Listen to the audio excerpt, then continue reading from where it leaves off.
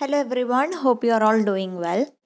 Uh, today we are going to discuss the short story The Scent of the Bird by Kamala Das.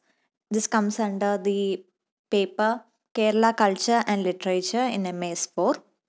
So, as usual, we'll start with the author biography.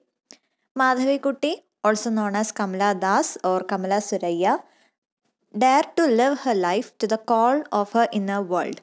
The most illustrious writer who established her own fiefdom in Indo Anglican and Malayalam literature seldom bothered about the commotion her actions created.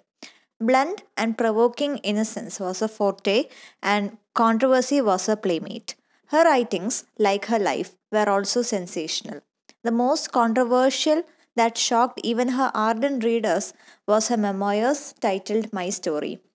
It was a kind of bear it all personal reminiscence about everything, including her intimate relationship with men outside her marriage.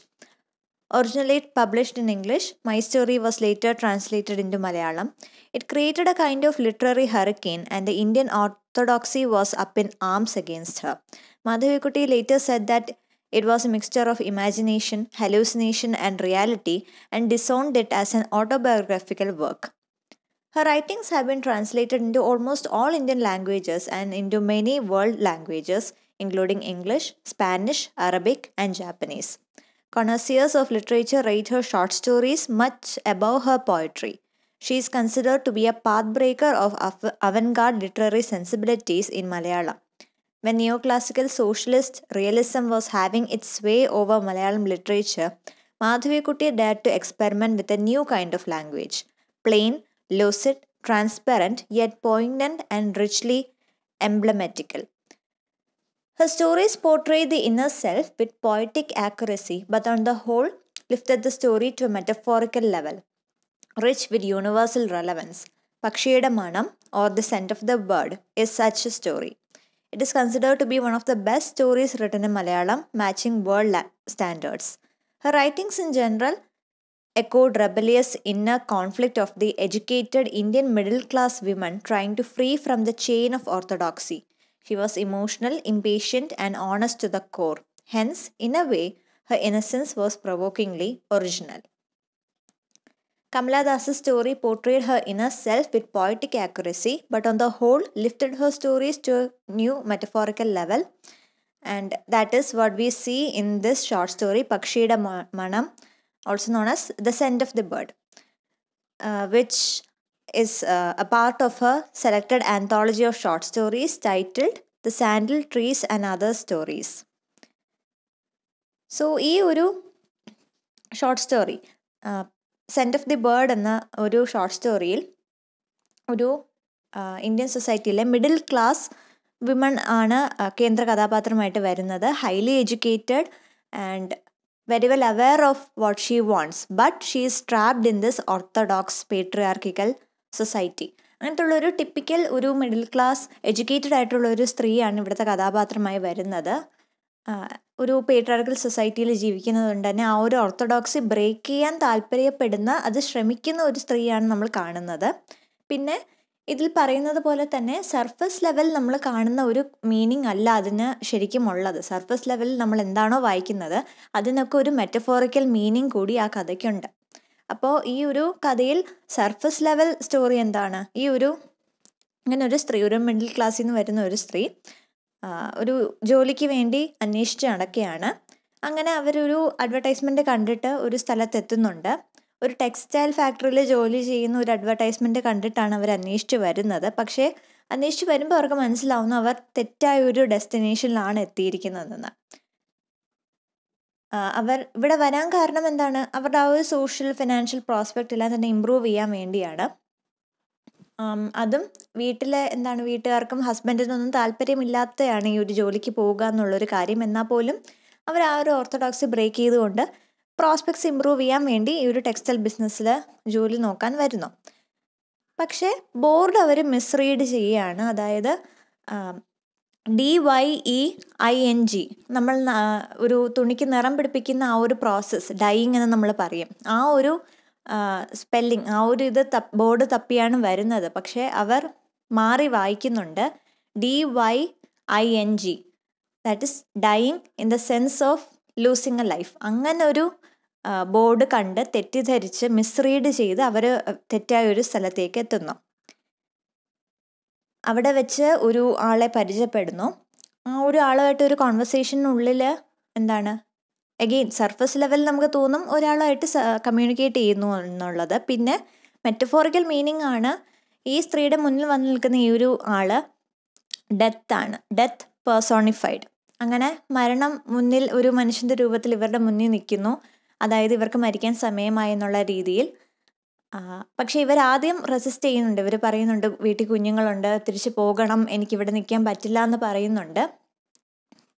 അവസാനം എന്താണ് ഒരുപാട് പ്ലീഡിങ്ങിന് ശേഷം ഇയാൾ ഈ സ്ത്രീയെ പോവാൻ വിടുന്നുണ്ട്. പക്ഷേ അൾട്ടിമേറ്റ്ലി ഷീ ഡൈസ് ഇതാണ് ഈ ഒരു കഥ. അപ്പോൾ ഈ ഒരു കഥയിൽ ഒരു എന്താ പറയുന്നത് മെയിൻ തീമായിട്ട് നമുക്ക് എടുത്ത് പറയാൻ പറ്റുന്നതും ഡെത്ത് തന്നെയാണ്. പിന്നെ പേട്രിയാർക്കി അതിന്റെ ആ ഒരു കൺട്രോളും നമുക്ക് ഈ ഒരു സ്റ്റോറിയിൽ കാണാൻ പറ്റും. അതെങ്ങനെയാണെന്നാണ് നമ്മളിനി അടുത്ത അനാലിസിസിലേക്ക് വരുമ്പോൾ കാണുന്നത്. So the story begins with the description of the job advertisement which she sees in the morning newspaper In spite of being a well qualified and educated lady herself, she regrets going for the job interview because it's against her husband's wishes അപ്പോൾ ആ ഒരു patriarchal image ഒരു male dominant egotistical ഹസ്ബൻഡിനെയാണ് നമ്മൾ എന്താണ് കാണാതെ തന്നെ കാണുന്നത്. ആളുടെ ഒരു രീതിയിലുള്ള ഒരു ഡിസ്ക്രിപ്ഷൻ നമ്മൾ കേൾക്കുന്നില്ല വായിക്കുന്നില്ല. പക്ഷേ അങ്ങനെ ഒരു ഹസ്ബൻഡ് ഉണ്ട് ഒരു പ്രസൻസ് ഉണ്ട് എന്ന് നമുക്ക് മനസ്സിലാവുന്നുണ്ട്. ഈ ഒരു ഹസ്ബൻഡിന്റെ ആഗ്രഹം ഇല്ലാതെയാണ് അല്ലെങ്കിൽ അനുവാദം ഇല്ലാതെയാണ് ഈ ഒരു സ്ത്രീ പോകുന്നത്. അപ്പം തന്നെ ആ ഒരു പേട്രിയാർക്കിക്കൽ കൺട്രോൾ നമുക്ക് അവിടെ കാണാൻ പറ്റുന്നുണ്ട്. ദാറ്റ് ഈസ് ഇവർ വളരെയധികം എഡ്യൂക്കേറ്റഡ് ആണ് വളരെയധികം ക്വാളിഫൈഡ് ആണ് ഈ ഒരു ജോലിക്ക് വേണ്ടി. പക്ഷേ ഇവർക്ക് പോകാൻ ഇവർക്ക് തന്നെ ഒരു റിഗ്രറ്റ് കാരണം എന്താണ്? വീട്ടുകാർക്ക് സമ്മതമല്ല. ഭർത്താവിന് താ താല്പര്യമില്ല എന്നൊരു ഒറ്റൊരു കാരണമാണ് ഇവരെ പിടിച്ച് വലിക്കുന്നത്. ഇവർ റിഗ്രറ്റ് ചെയ്യുന്നത് തന്നെ ആ ഒരു കാരണം കൊണ്ടാണ്. ആ ഒരു പേട്രാർക്കൽക്ക് ഇമേജ് അവിടെ നമുക്ക് കാണാൻ പറ്റുന്നുണ്ട്. പിന്നെ ഒരു മെയിൽ ഗേസ് എന്നുള്ള ഒരു കോൺസെപ്റ്റും കൂടി നമുക്കിവിടെ കാണാൻ പറ്റുന്നുണ്ട്. അത് കൂടുതലും നമ്മൾ സിനിമകളിലാണ് കണ്ടുവരുന്നത്. എന്താണ് പൊതുവേ ഒരു മെയിൽ ഗേസ് നമ്മൾ നമ്മുടെ ഇന്ത്യൻ സിനിമ എടുക്കുകയാണെങ്കിലും വേൾഡ് സിനിമ എടുക്കുകയാണെങ്കിലും കാണാറുണ്ട്. ഇപ്പം മാറി വരുന്നുണ്ട്. ഒരു ഫെമിനിസ്റ്റിക് പോയിന്റ് ഓഫ് വ്യൂവിൽ സിനിമകൾ വരുന്നുണ്ടെങ്കിലും ഒരു മെയിൻ സ്ട്രീം എടുത്തു നോക്കുമ്പോൾ ഇപ്പോഴും മെയിൽ ഗേസ് അല്ലെങ്കിൽ മെയിൽ പേഴ്സ്പെക്റ്റീവിലുള്ള സിനിമകളാണ് കൂടുതലും വരുന്നത്. അതേ മെയിൽ ഗേസ് ഈ ഒരു സ്റ്റോറിയിൽ നമുക്ക് കാണാൻ പറ്റും There are many other occasions where the lady suggests of prying eyes falling on her face and how a man who scanned her from head to toe with his narrow reddish eyes. The thorough contempt of the writer for the male counterpart is expressed when she writes about a short middle aged man with dirt on his nails was too eager to help the lady, saying that I don't know you, but if you come with me, I will help you. അപ്പം അങ്ങനത്തെ രീതിയിലുള്ളൊരു എന്താ mail ഗെയ്സും പേട്രാർക്കിക്കൽ ego എല്ലാം തന്നെ ഈ ഒരു story first ഹാഫിലെ സ്റ്റോറിയിൽ നമുക്ക് കാണാൻ പറ്റുന്നുണ്ട്. ഇനി നമ്മൾ സെക്കൻഡ് ഹാഫിലേക്ക് വരുമ്പോഴാണ് ആ ഒരു മിസ് മിസ്റീഡിംഗ് ആയിട്ട് എന്താണ് ഒരു തെറ്റായ രീതി ബോർഡ് വായിച്ച് വേറൊരു സ്ഥലത്തേക്ക് ഈ ഒരു സ്ത്രീ കയറി ചെല്ലുന്നതും അവിടുത്തെ ഒരു ആളുമായിട്ട് സംസാരിക്കുന്നതും സംസാരിക്കുന്ന വഴി നമുക്ക് മനസ്സിലാക്കാൻ പറ്റുന്നുണ്ട്. ഇത് സാധാരണ മനുഷ്യനല്ല. മരണം തന്നെ പേഴ്സോണിഫൈഡായി വന്ന് നിൽക്കുകയാണെന്നുള്ളത്. അതിന്റെ ഐഡിയ വേറൊന്നുമില്ല. നമ്മുടെ ഒരു മിത്തോളജി ആണെങ്കിലും യമദേവൻ എന്ന് നമ്മൾ പറയുന്നുണ്ട്. മരണത്തിന്റെ ദേവനാണ്. അതുപോലെ തന്നെ ഇംഗ്ലീഷ് ലിറ്ററേച്ചർ എടുക്കുമ്പോഴും നമുക്ക് ഡെത്ത് എന്നുള്ളൊരു ഇമേജ് നമുക്ക് കാണും. ഒരു ഫുൾ ഹെഡ് ടോയിൽ ക്ലോക്ക് ഇട്ട് വരുന്ന ഒരു സ്കെൽട്ടൻ ഫിഗർ അങ്ങനത്തെ പല പല വേർഷൻസും പല പല ഇമേജസും നമുക്ക് ഡെത്തായിട്ട് അസോസിയേറ്റ് ചെയ്യാൻ പറ്റും. കോമൺ ആയിട്ടുള്ളൊരു ബിലീഫ് എന്ന് പറയുന്നത് മരണം എത്തുന്ന സമയത്ത് ഈ ഒരു എന്താണ് മരണം തന്നെ നേരിട്ടെത്തി എന്താണ് ആത്മാവിനെ കൊണ്ടുപോകുന്നു എന്നുള്ളൊരു ബിലീഫൊക്കെ നമ്മുടെ ഇടയിലുണ്ട്. അപ്പോൾ അതേ ഐഡിയ ആണ് ഇവിടെ കാണുന്നത്. ഈ ഒരു സ്ത്രീ മരിക്കേണ്ട സമയമായി. അതുകൊണ്ട് തന്നെ മരണം ആ ഒരു പുരുഷന്റെ രൂപത്തിൽ ഇവരുടെ മുന്നിൽ എത്തി നിൽക്കുന്നു.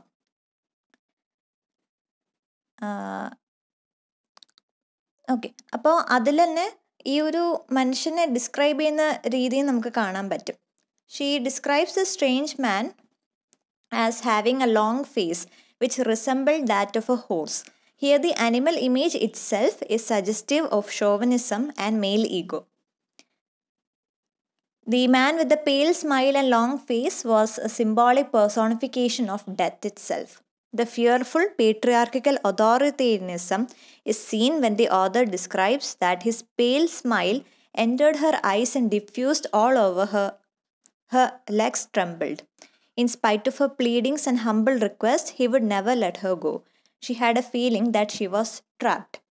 അങ്ങനത്തെ രീതിയിൽ ഒരു കോൺവെർസേഷനാണ് നമ്മൾ കാണുന്നത് അതായത് ഇവ സംസാരിച്ച് വരുമ്പോഴും ഈ ഒരു ആൾ പറയാണ് നിങ്ങൾ എന്തായാലും വന്നു ഇനി നിങ്ങൾക്ക് തിരിച്ചു പോകാൻ പറ്റില്ല. അതായത് മരണം എത്തിക്കഴിഞ്ഞു മരണം എത്തുമ്പോൾ നമുക്ക് ഒരിക്കലും ഡിനൈ ചെയ്യാനോ അല്ലെങ്കിൽ അവിടെ നിന്ന് എസ്കേപ്പ് ആകാനോ പറ്റത്തില്ല. അതാണ് ഈ ഒരു കോൺവെർസേഷനിലും പറയുന്നത്. പിന്നെ ഇവിടെ ഒരു സിംബോളിസം കൂടിയുണ്ട്. The colour yellow the symbolic imagery of the brownish bird with the yellowish tinge and it struggles to break open the glass finally collapsing on the floor and being smashed by the man's shoes indicate the lady herself. The yellow tinge in the bird represent death or paleness.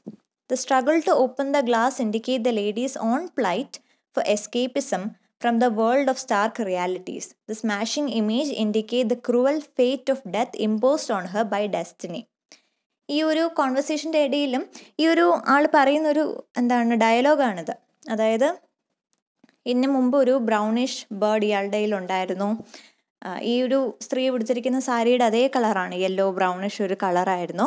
അത് എന്താണ് glass break ചെയ്ത് പുറത്ത് രക്ഷപ്പെടാൻ ശ്രമിച്ചു.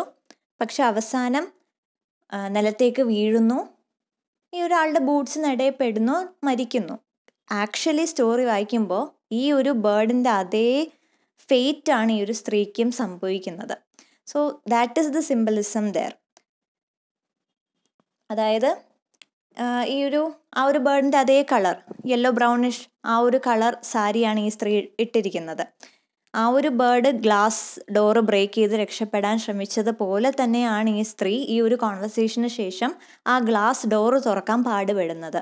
അവസാനം ആ ഒരു glass door തുറന്ന് പുറത്ത് വരുന്നുണ്ടെങ്കിൽ പോലും എന്താണ് ഇവർ ലിഫ്റ്റിലേക്ക് കയറുന്നുണ്ട്. ശ്രദ്ധിക്കാതെയാണ് കയറുന്നത്. പക്ഷേ എന്താണ്? കയറി കഴിയുമ്പോഴാണ് ഇവർക്ക് വീഴുന്ന ഒരു ഫീലിംഗ് ഉണ്ടാകുന്നത്. സംഭവം ആ ലിഫ്റ്റ് ഔട്ട് ഓഫ് ഓർഡർ ആയിരുന്നു.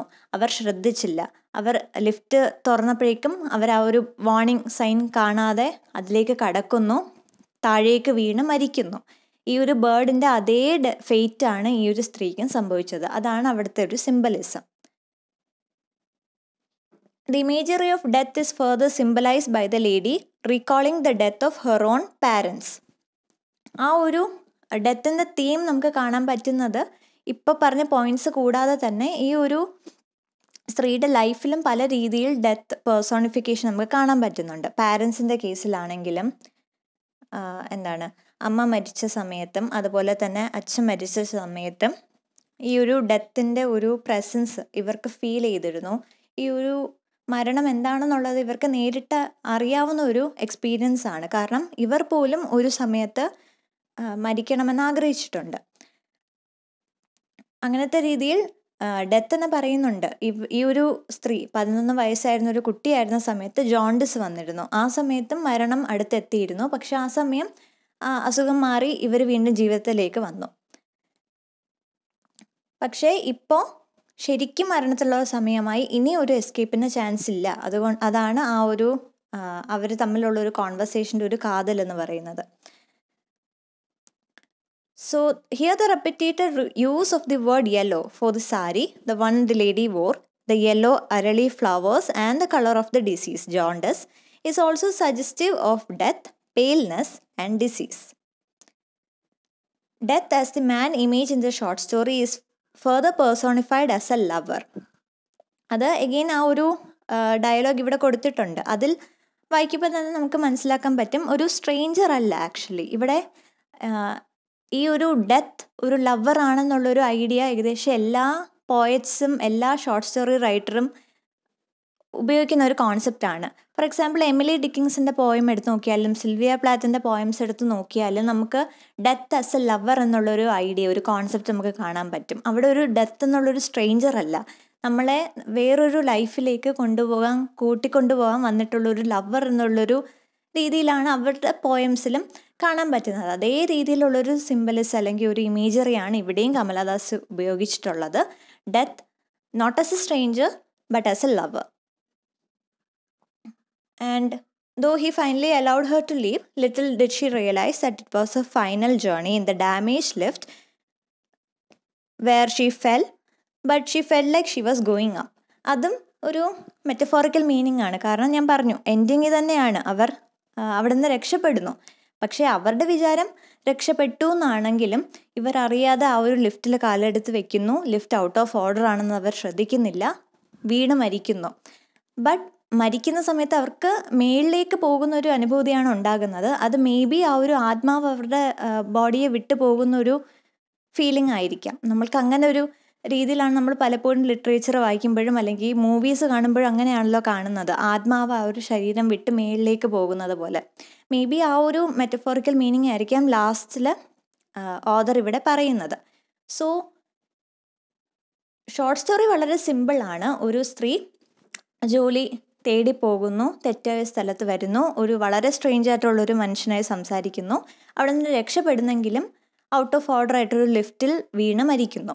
ഇതാണ് സർഫസ് മീനിങ് പക്ഷെ മെറ്റഫോറിക്കലി നമ്മൾ എന്തൊക്കെ ഡിസ്കസ് ചെയ്തു? We discuss the patriarchal control the orthodox society which does not want woman to you know go outside home and work we talked about death in detail. We talked about symbolism between the bird and the woman and the significance of the color yellow and the presence of death in uh, our life, throughout our life. അപ്പോൾ ഇത്രയും പോയിൻസും ഈ ഒരു കഥയ്ക്ക് അകത്ത് ഉണ്ടായിരുന്നു so ഇതുകൊണ്ടാണ് കമലാദാസിന്റെ short stories എല്ലാം പെർട്ടിക്കുലർലി ഷോർട്ട് സ്റ്റോറീസ് എല്ലാം തന്നെ എന്താണ് വേൾഡ് സ്റ്റാൻഡേർഡ് ആണെന്ന് പറയാൻ കാരണം കാരണം വായിക്കുമ്പോൾ ഒരു മീനിങ് ആണെങ്കിലും അതിന്റെ അകത്ത് ഒരു ഹിഡൻ ആയിട്ടുള്ള പല രീതിയിലുള്ള മെറ്റഫേഴ്സ് കമലാദാസ് ഇൻക്ലൂഡ് ചെയ്തിട്ടുണ്ട്. So that's the brief analysis of the short story scent of the bird I hope this was understandable and if you have anything more to add you can do in the comment section thank you for listening